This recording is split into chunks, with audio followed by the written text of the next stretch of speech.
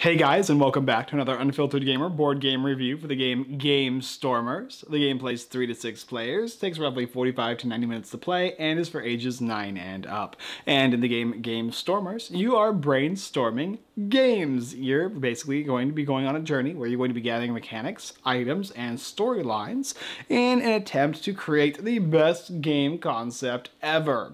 Now, throughout the time you're doing that, you're going to be gathering new cards and combinations to form your game and you'll also be participating in the arena where you're going to make small mini game concept designs where you'll score points along the way.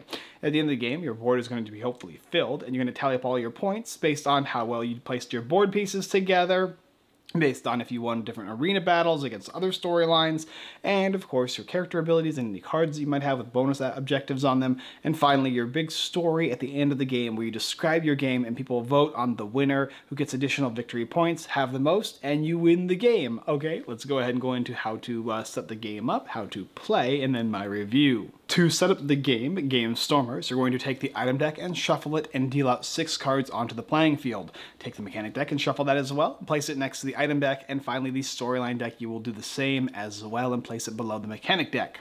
Take the player victory point card and set it somewhere within reach of all players, and give every single player a player board. Each of the player boards is going to have a unique piece of art on the back to illustrate which characters are which. You can also go ahead and give each player two characters, which they're going to select one of them and place that that character onto their board into the character slot. Discard the other one, and then give every single player one mechanic and one item card.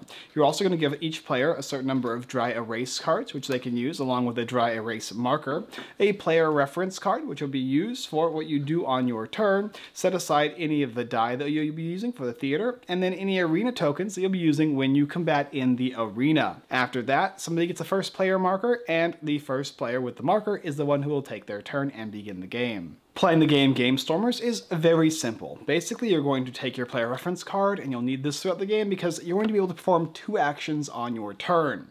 Uh, the only rule with this, because you can take them in any order that you'd like, is the arena. On the arena, you're only able to perform this action if two other players haven't previously done it.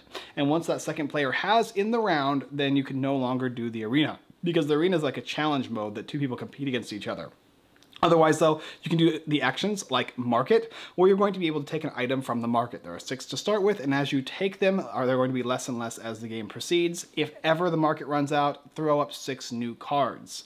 There's the theater, where you can roll all these dice here. Then you're going to select one of them and create a card with that symbol and be able to utilize it on your board if you'd like. So it can become an item or a mechanic or a storyline. You have the temple, and the temple is going to let you discard an item and use its discard ability. And all the cards, or most of them have a discard use on the bottom of their card, which will let you do something unique with that card's specific ability. Next, you have the Forum. The Forum is going to let you draw three cards from the mechanic or storyline deck, and then you can choose one and put it into your hand of cards. And finally, the Arena. And like I said before, you only can have this done if two players haven't previously done it. What happens is you'll take one of these points, which is going to be a victory point at the end of the game if you have it, and uh, you're going to be then drawing an item, mechanic, a storyline at the end of the round, which I'll explain in a second. Because basically, everybody's going to take one of these, uh, two of these actions. You can take two of the same one or not. Once everybody has gone through then there's the cleanup phase. During the cleanup phase, you're going to resolve the arena. Basically, the two people who made the arena actions, they're going to have one of these little Gamestormer tokens. So if it was me and Billy over here, uh, me and Billy are going to draw an item, a mechanic, and a storyline card. We're going to lay these cards out, and in any order, we're going to basically create a story with a game functionality. Like we're making our own little game, uh, and we're trying to have other people judge which one of us made the best game with the mechanic and concept and theme. And whoever wins, based on majority vote, will get both of these tokens tokens and score two points at the end of the game. So you want to keep these around when you score them. If it's a tie, you each get one, and if there's only one person who does the arena action and has one token, they'll just keep that token for points at the end of the game.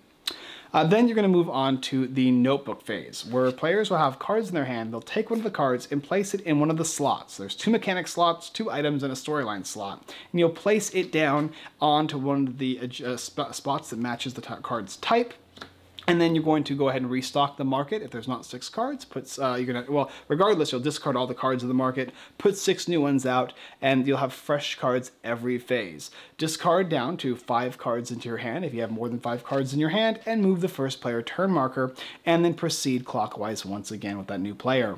And you'll do this five times, and until what hopefully will be everybody will have a storyline, two mechanics, two items, and of course their character they started with.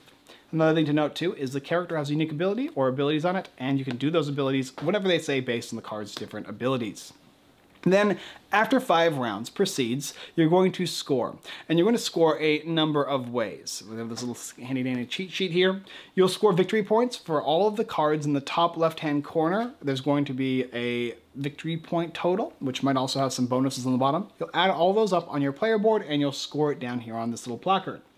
Then whoever has the most of one type of card will score two points. So if I have five sci-fi and she has three high seas, I have the most of one type, I score two points. If there's ever a tie, it's one point. The most of all types, meaning whoever has a variety of different types will score two points, or in a tie there's one. Arena victories, you'll get two points if you win them, or one for ties. You'll be able to vote for the winner at the end of the game, which will score an extra two points, and then you'll tally them all up, and whoever has the most points after five rounds is the winner of the game. Gamestormers, pretty simple, pretty straightforward game that involves a little bit of different types of mechanics in this story-based, like, social element game. At first glance, Gamestormers appears to be a storytelling game, and in fact it is, but it's mixed with a couple other different types of mechanics. One being there is going to be a management system, a tableau management system, which you are going to try and find the correct cards the correct types and place them on your board. Uh, some of the cards are just straight up a certain number of points. It's usually one, two, or three. But other cards, which I really like, uh, can be lower, one point, but they get plus two whenever you have other types of things on your board. And that's what I really enjoy doing, is trying to kind of craft my narrative board uh, to give myself the most amount of points I can, but all at the same time, I have to realize that at the end of the game, there's additional victory points for telling the best story utilizing the cards that I have. And if the cards are mismatched, it's going to be harder to tell a correct story and thusly get voted on to succeed in the game. So you have to kind of balance that out.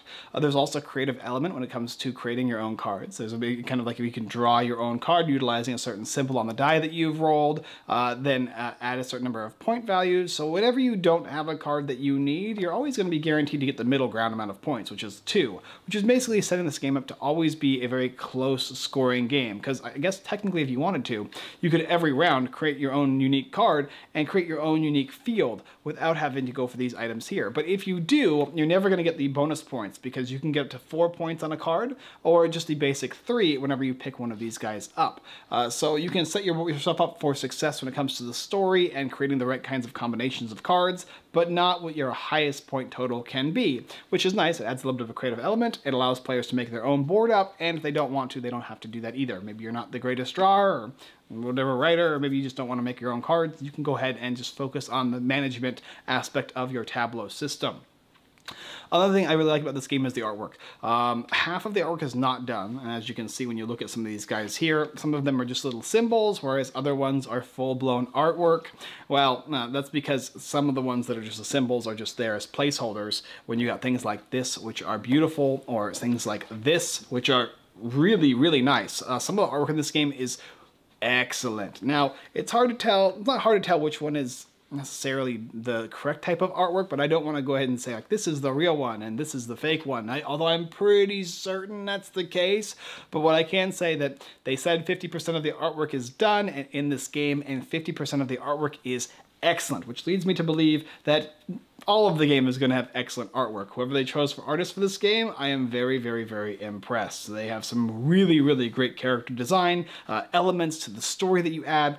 It just feels really, really fleshed out. Uh, this is probably the best artwork I have seen for a storytelling game since like uh, Dixit and, and those type of games, uh, narrative-driven style uh, which actually blend into creating your own story. Because you have like Mysterium and you have Dixit that do the same thing, but it's kind of like a uh, vagary uh, so to speak. In this one here, it's you put elements together and then you make that story, which I love. I like the idea of making my own story for my own game with my own mechanics. Uh, it feels like I've kind of constructed this thing, and then people can vote on it based on how I made my game, through how, how I played and created my game throughout the endeavor of what Gamestormers is. The fact that I can dig through the different cards is nice. I love playing the discard abilities on the cards. I want to see even more different ways to score additional points.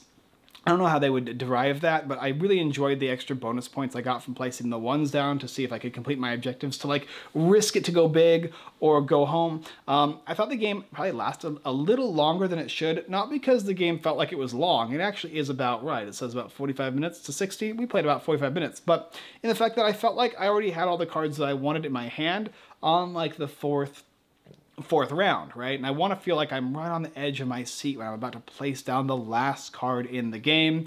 And maybe it was just me and Callie, or just that specific game that we played, because we played a couple other ones that seemed eh, kind of similar. But uh, in a couple cases, it was just like, you know, we already pretty much had what we wanted. Um, and so I'd like to see it even reduced by one. Maybe you have to play two cards in the last round. I don't know how you would exactly do it, but the timer just felt like I was like, okay, I've got what I wanted. But maybe that's the point. Maybe you kind of want to already have your thing built I don't know. It doesn't make a huge amount of difference because uh, at, at this game's core, it's a story building game. Uh, the points is kind of nice, but what I really enjoyed about this game is creating my own uh, game, creating my own story narrative, um, and putting together the story based on the different items and mechanics that I would be utilizing in the game. I liked creating my own cards. That was fun. I would prefer instead of actually picking the symbol to create um, a card based on that symbol because I don't think it matters what the artwork is. So being able to utilize more of your artistic side would be even more excellent based on the fact that we have these to utilize. Um, what other what other things? There's oh, uh, some abilities on the characters are excellent, and other ones are like the ones per game. Like there's one ability that lets you every turn I can discard a card from the item deck, item, item stack over here, or use their ability uh, as an action um, as opposed to using one of the actions on this card here to do it from your hand. That's really, really, really powerful. Whereas this one is, once a game, I can take a card from the mechanics discard pile and put it into my hand and that's you know pretty good. But I feel like that one's a little a little overpowered. I think they could just tweak that a little bit, where you have to discard a card from your hand to use uh, discard ability in this pile here. I'm kind of nitpicking, but I, I, think you get the idea. Um, yes, overall narrative, uh, artwork, the story building, it all works excellent. The arena is super fun. Uh, utilizing these little tokens works very well as well.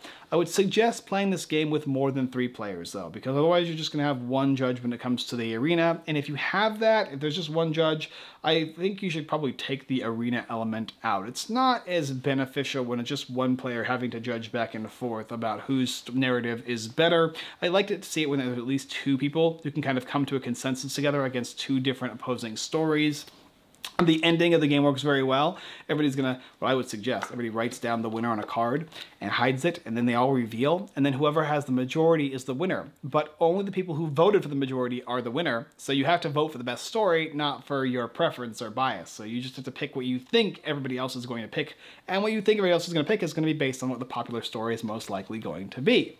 Uh, yes, so uh, did I enjoy this game? Yes, this is an excellent narrative-driven storytelling game. It's got some tableau management, which I enjoy enjoyed. It has a bunch of beautiful artwork, which I love. At first, I was sad that I thought that this artwork was covered up because you're using the other side of the board, but I realized that it's on the actual card, so this is just an extra little bonus plus. As you can see, they're gorgeous. And I think for those of you who like storytelling games, tableau management, narrative-driven games about making your own game, you're going to enjoy this one quite profusely. You could see the amount of effort put into this game. It was in excess, and they just did a really great job of being creative and letting you guys be creative as well. Uh, if you don't like story-driven games, you're not going to enjoy this one. If you don't like being creative or trying to come up with something on the spot, you're not going to like this game. There's certain parts where in the arena where you're just going to draw three random cards and have to come up with something really quickly, and that can make certain people anxious or uh, feel like they're I don't know what to do. And I guess that's that's a possibility. And there are quite a few people in my friends group, friends group who have a hard time doing this thing. But in my case, I tell you, you should probably just do it because you're, you're going to get better and better at it as you do it, and that's going to help you in your ability to read and comprehend, and of course to write. And uh, creating is always something that's going to be a benefit if you can ever like uh, get over those things. But regardless, yes, it fits a certain niche of a certain type of people. If you're interested in the game Gamestormers, you can go ahead and hit the link down below in the description where you can go ahead and pick up this game, which I believe is on Kickstarter right now. Thank you guys so much. Let's go hit that outro. Thank you guys for watching another Unfiltered Gamer board game review of the game Gamestormers. Like I said, there's a link down below in the description. You can also go ahead and hit that subscribe button and the bell notification button so you can see more of our videos that we produce every day, Monday through Friday on this channel. And of course, every Sunday at 6.30 p.m. PST, we do a live stream where we play games just like this one. In fact, we might be playing this one on our next live stream, who knows. Uh, you can also go ahead and check out our website, unfilteredgamer.com, blog posts, giveaways, Kickstarter lists, and more. See us jump down and play some of these games, see us play, review other games that aren't on this channel that are in written form from other people who are not myself who review games. And you can also check out all this stuff. We have Instagram, TikTok, and all that other good stuff. Moonshell Mermaid Game, my wife's game, is currently available for uh, purchase. It's on the website, unfilteredgames.com, if you want to go ahead and take a look at a puzzle building mermaid game. And that's pretty much all I got for you. So, as always, I look forward to brain or game storming with you uh, next time.